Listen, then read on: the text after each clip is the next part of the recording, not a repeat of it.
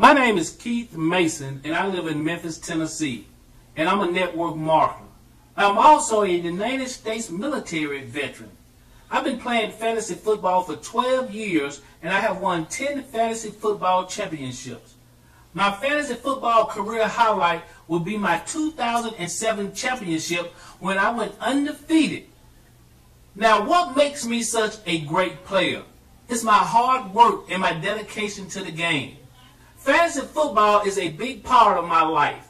I am teaching my 11 year old son how to play fantasy football so one day when I retire, he can continue the legacy that I am creating.